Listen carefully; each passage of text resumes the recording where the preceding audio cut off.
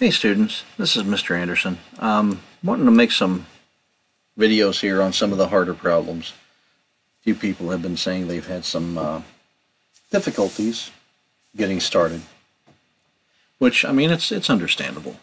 So what we're going to do, we're going to work on problem P6-1. Okay, we're going to work on making a uh, pictorial, an isometric pictorial.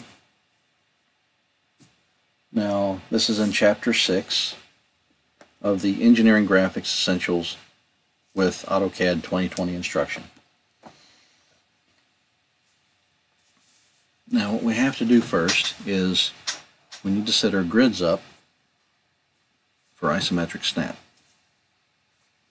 So, we type in SN, well, that there, SN for snap, enter, we hit the down arrow and we can scroll down to style.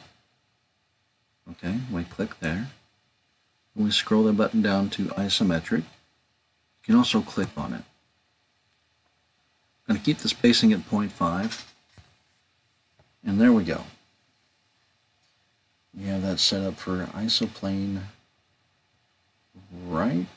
Nope left. Isoplane left which is fine so, we're going to draw our base. So, we go down. Let's see. We're going to end up zooming in here because that's not... Uh,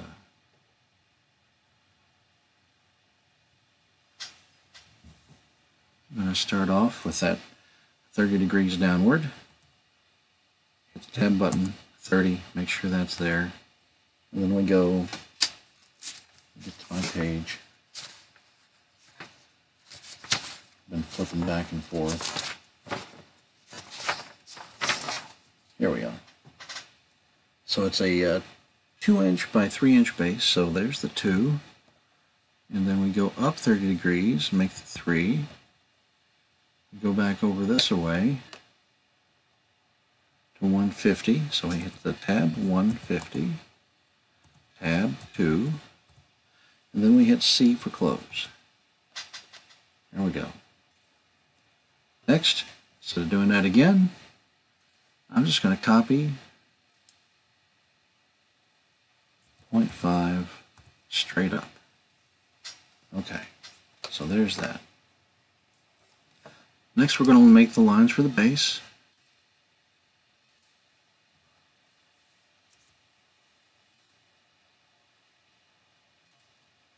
Okay. We have to uh, make a radius there, and we'll work on that here in a moment. So now, we're going to go 0.5, because it's 1 by 0.5 thick. Oops. Make it 0.5. 1 and back up to 0.5. That's not what I wanted to do. Let me get these out of the way because they distract me. Because they're not needed anymore. Let's go this way. And go down. Okay, 150. Tab 1. I'm going to go across to here, 0.5, and back up there. Uh, to 1. The snaps are wanting to grab hold of these corners. So sometimes I just turn the snaps off. It's not going to kill anything. Oops. Now we go to the line. It's 2 up from the base, so what it's going to be is 1.5 because the base is already 0.5. Now we can do it this way. 1 because that's at 150. Draw this line down. Take this line, take it up 150. What? I must have fat fingered that one. Let's do this again. Oops.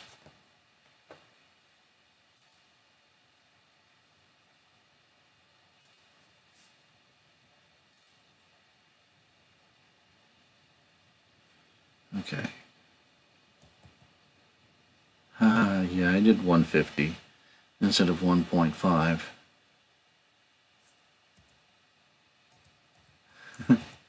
See, it did exactly what I told it to do, not what I wanted it to do. As is typically the problems with machines. So we're going to hit the tab button and tell it 90. And then 1.5.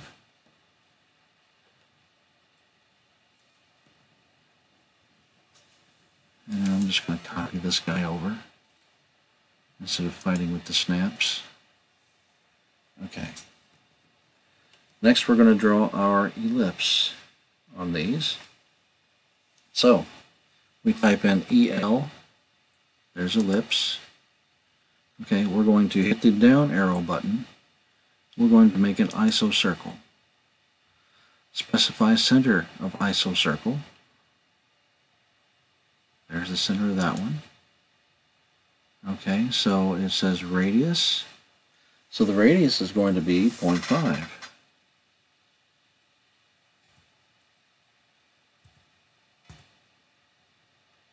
Well, look at that. What happened? Well, maybe what I need to do is go down here and change that from isoplane left to isoplane right. So let me try this again. EL, down arrow, iso circle, there's the center.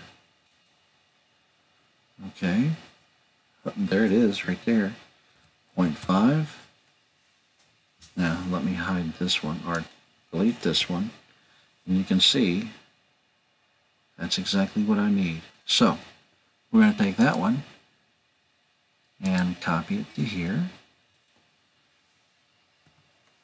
I'm going to go down here to my snaps and make sure tangent is chosen. Okay. So then I have to draw a line.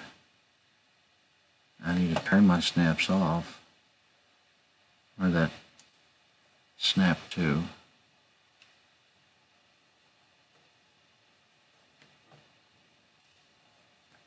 Here we go. Turn that guy back on. And there's that. So now we're going to trim here and here and here and here. Should be everything I need to trim. Well, let's try this again. Trim, I need to select, actually I'm just going to select everything there. So I don't need to see that. I don't need to see that one. Or, okay, that one will have to be deleted.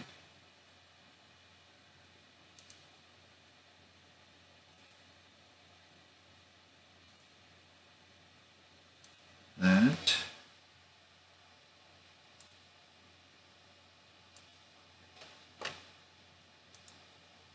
That. Let's see, I can do away with that. That, that, that, that. I'm going to leave that there because I need to draw that other through circle. I forgot about that one. So that's a diameter of 5. So let's do EL, ellipse, okay, arrow down, iso circle, specify center of circle, it's right there, and then we tell it 0.25 because it's asking for radius, or I could arrow down and it'll ask for diameter. Yeah, there's diameter right there. So I can tell that the diameter is 0.5. And there's that. Now, to see if this is going to be visible on the other side, I can do this right here. I can copy, and I can move it. Nope, it's not going to be visible on the other side, so I don't have to do that. So now I can delete that, and I can delete that. Next, we need to do the circle over here, and we need to do that radius. So, what we do is go over here, and we're going to isoplane top. So now our iso circle is going to be in the correct orientation here on this plane here, okay? We have one up here as well. So I need to draw the center lines for that. And it appears that both of them are 0.5 in and 0.5 from the edge. So that's fairly easy. So, go over here. I'm going to find that, 0.5. I'm going to come down and tab 150. Okay. Now,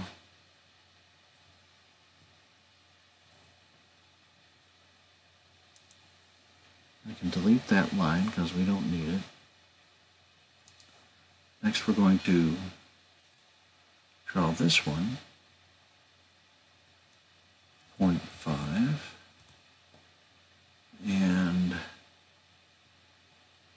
tell it tab 150, and that's good right there. That gives me a center line for that circle.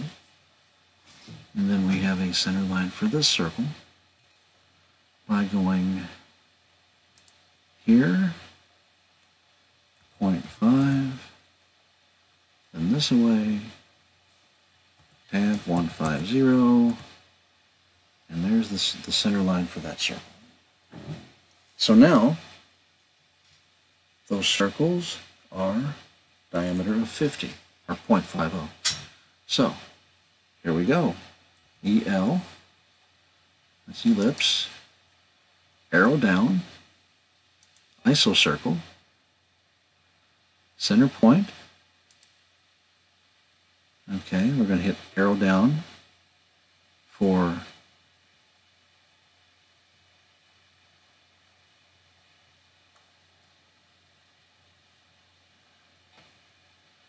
diameter and 0.5. Next, we're going to just copy that one from here to here. And then the next one we're going to do, EL, down arrow, iso circle, specify center, there's our center. Our radius is 0.5. Now, then I can take this and copy.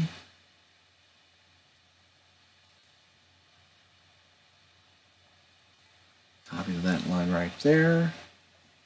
And then we trim. Let me go ahead and get rid of some of these extra lines here.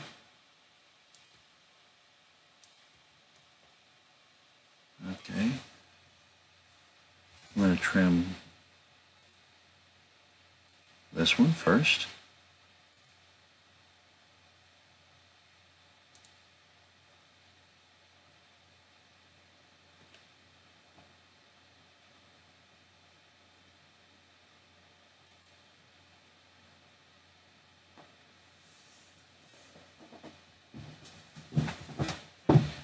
Now this is saying it doesn't intersect, but it sure looks like it does. So I'm going to, oh, that was one of the lines that I had drawn.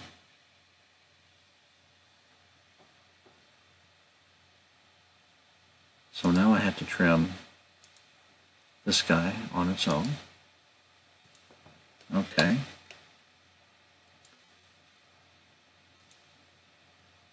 See if it'll, nope, it won't let me trim this. So we're going to hit trim again. Hit that, that, and that. Select. I'm going to click here, we click there, we click there. And that's how you get the drawing. What we'll do then is go to the, the Imperial title block. I need to get out of that command. Okay, activate the viewport. Z, enter, A, enter. There's that. I know the instructions say 80%, but uh, in this case, uh, well actually that's uh, that's a one-to-one -one right there. Get rid of your grid lines.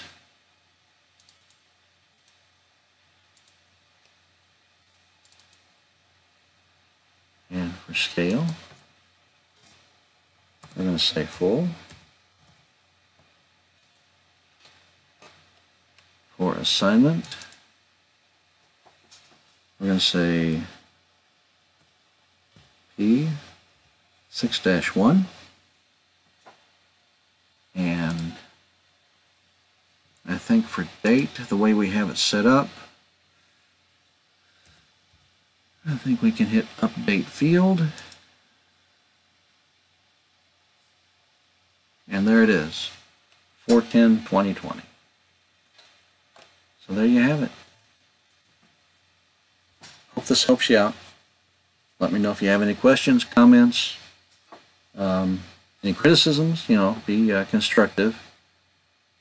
I'm not graceful as far as uh, public speaking, but I try to do my best. So thank you very much for listening and watching, and I hope you learned something. Have a wonderful day. Bye-bye.